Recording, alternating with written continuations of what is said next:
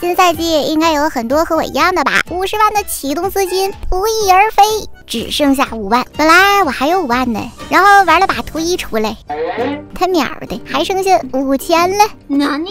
这六甲和枪都是用小蓝的号送过来的，不然别说五图了，三图都打不了。不过据说新赛季爆率都很高，辐射区贼肥，那还等啥呀？直接五图整起。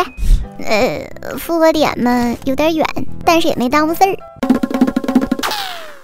直奔最近的地铁口就下来了，这里有个盒子，看来已经打过架了。咦，不对，有个脚步，先等会儿。嘿，这不是小了吗？好家伙，收枪早了，差点大意了。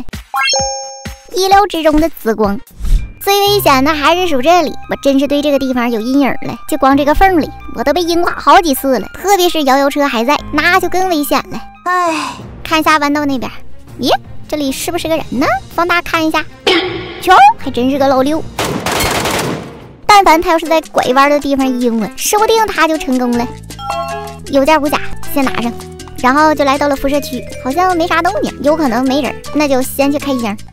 哼，咱的号就是欧，上来就黑卡，又来一根尖，又来俩红光，好家伙，赛季冲的第一把爆率就这么高，三个粉。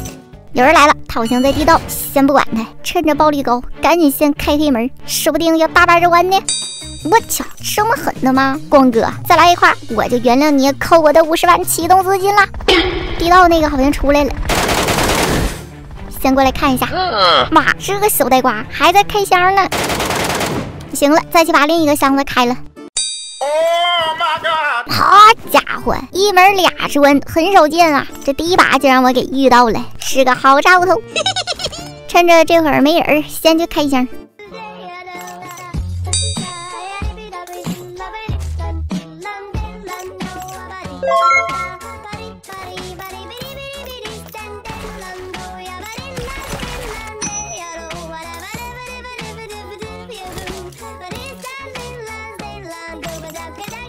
房顶的箱子竟然都没被开，对面绳子下有狗子，房顶很有可能有老六蹲，好像从楼里上来了一个，来了，打，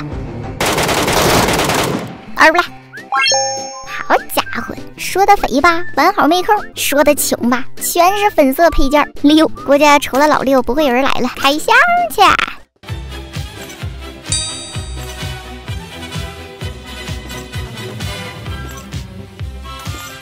目前估值五点二 M，其实还有四五个箱子没开。我看返回点有点远，怕来不及，要不然还能赚个四五十万。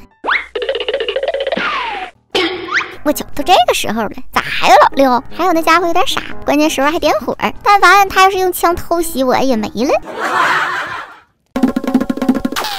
我直接就溜了，这把赚了四百五十 W。好了，本期视频就到这里，下期见，拜拜。